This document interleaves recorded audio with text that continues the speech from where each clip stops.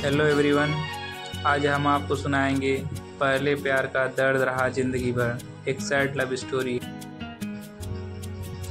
दोस्तों, आज आपके लिए sad love story in Hindi लेकर आए हैं। यह कहानी अनामिका और आयान की है।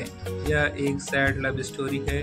दोस्तों, आगे आप पढ़ेंगे अनामिका और आयान कैसे मिले और एक दूसरे से जुदा हुए।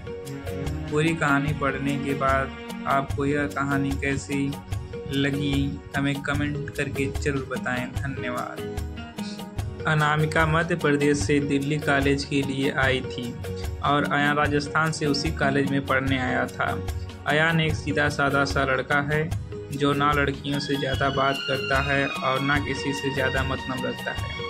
अयान की यह बात अनामिका को बहुत अच्छी लगती है और वह किसी न किसी बहाने से अयान से बात करने की कोशिश करती है। अनामिका दिखने में क्यूट लगती है। कुछ ही समय में अयान और अनामिका की दोस्ती हो जाती है।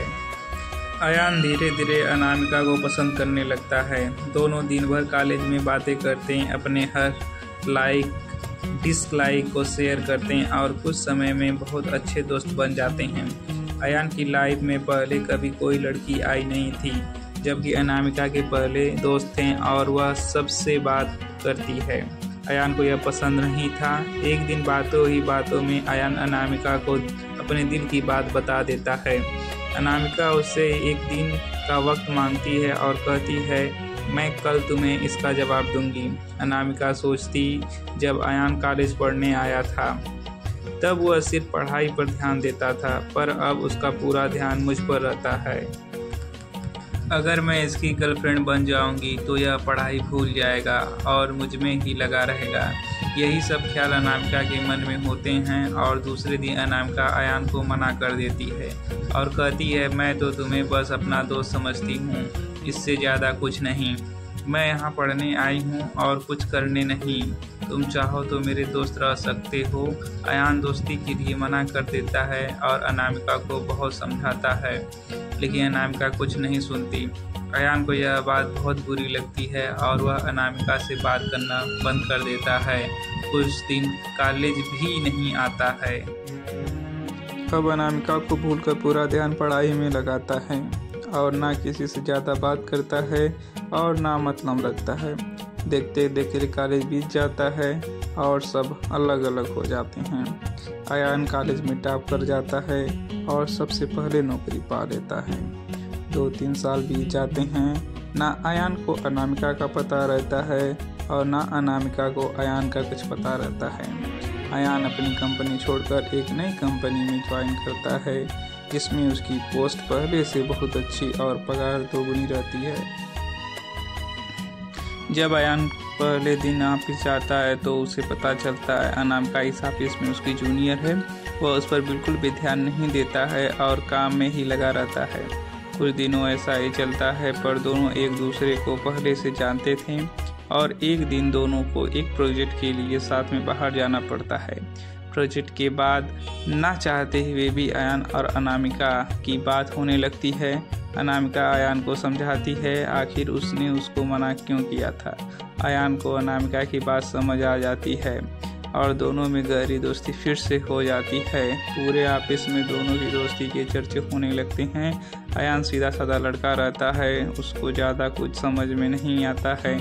अयान कुछ समय बाद अनामिका को डिनर पर ले जाकर फिर से प्यार का इजहार करता है। अनामिका इस बार अयान से मना नहीं करना चाहती।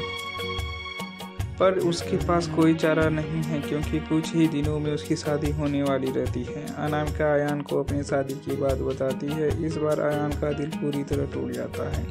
वह बिना कुछ कहे वहाँ से चला जाता है। अनामिका रात में सोचती है कि अयान से अच्छा लड़का मुझे कभी नहीं मिलेगा। वह फैसला करती है कि कल अयान को आकर दूँगी और मम्मी पापा को अयान से शादी के लिए मना लूँगी।